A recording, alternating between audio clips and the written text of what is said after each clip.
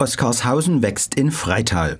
Berge von Holzschnitzeln, Kies und anderen Baumaterialien türmen sich noch rund um den ehemaligen Realmarkt in der Burger Straße Freital.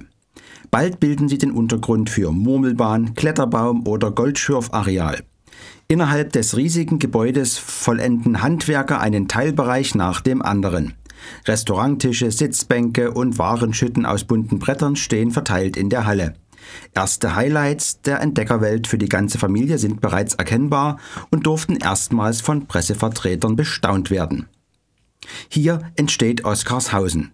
Die Entdeckerwelt für die ganze Familie auf 9000 Quadratmeter Innenfläche und 7000 Quadratmeter Außenfläche. Also bei den 9000 Quadratmeter äh, Innenfläche haben wir natürlich auch ähm, ein paar Technikbereiche. Das ist insgesamt die Gebäudegrundfläche. 4000 Quadratmeter ist der Bereich, der aus Gasshausen jetzt praktisch ähm, in Fläche bespielt. Und ähm, bei dem Rest der Fläche sind wir gerade noch in Verhandlungen, wie die Nutzung ist. Und da gibt es ja verschiedene Interessenten, die da sich äh, positioniert haben, wo wir auch vielleicht noch gucken, ob der ein oder andere äh, Bereich von uns genutzt wird. Bei der ersten Vorstellung des Projekts im Frühjahr wurde auch zur Ideenfindung aufgerufen. Was möchten die Freitaler hier vorfinden? Was fehlt in der Region? Was würde gut zu Oskarshausen passen? Und Anregungen gab es jede Menge. Die Resonanz war also auch von Dresden oder auch im Umkreis Dieperleswalde, teilweise auch aus Pirna, ähm, dass wir viele Ideen und ähm, ähm, Themen bekommen haben, wo Leute sich einbringen wollten oder wo sie gesagt haben, die und dieses Thema äh, könnte interessant werden. Das, das hat jetzt auch nochmal zugenommen. Äh, man merkt das, weil die Vorfreude ist sicherlich da in der Bevölkerung oder zumindest bei bestimmten äh, Bevölkerungsgruppen. Und da haben wir eine ziemlich hohe Resonanz gekriegt. Und als Ergebnis aus dieser hohen Resonanz wollen wir natürlich auch die, die oder die, die, die Leute, die sich da eingebracht haben, auch zu einem exklusiven Pre-Opening dann entsprechend einladen. Oskarshausen soll die gesamte Region kulturell bereichern. Es soll ein einmaliges Erlebnisangebot für Kinder und Familien geschaffen werden. So gibt es viele Angebote im Innen- und Außenbereich.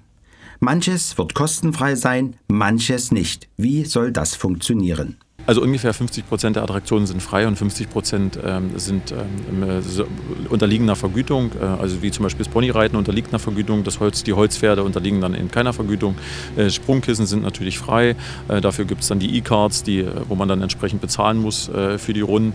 Ähm, ich würde es nicht als Bereiche sehen, sondern einzelne Attraktionen sind unterschiedlich zu nutzen. Also es gibt keine Bereiche, wo, wo Personen ausgeschlossen sind, die sie nicht betreten können oder nur gegen Eintritt und andere sind frei, sondern das sind eher die Attraktionen, die dann unterschiedlich genutzt genutzt werden können. Die Zielgruppe, welche Oskarshausen besuchen soll, liegt im Alter zwischen zwei und zwölf Jahren. Aber was machen die Eltern, Omis und Opis in dieser Zeit? Gute Frage. Äh, wir haben, glaube ich, ein ziemlich gutes äh, Gastroangebot, ähm, das wir hier entsprechend äh, umsetzen und, und, und zur Verfügung stellen. Das ist das eine. Und das zweite ist, dass wir natürlich auch ähm, gewisse kleinere Handelsbereiche haben, wo man Produkte aus der Region erwerben kann oder entdecken kann und wo man natürlich auch mit den Kindern im Innenbereich viele ähm, Aktionen machen kann, wo man zum Beispiel im Keramikbereich mit Porzellan arbeiten kann, wo man in der Holzwerkstatt über Bausätze, sage ich mal, mit dem Kind zusammen holztechnisch an, an alten Hobelbänken was entwickeln kann. Das sind natürlich Themen, die dann, ähm, äh, die dann auch die Eltern und ähm, Großeltern entsprechend mit einbinden. 25 motivierte Mitarbeiter wurden gesucht und gefunden. Der Aufbau läuft schnell und reibungslos. Wann können dann die ersten Besucher kommen? Eine gute Frage.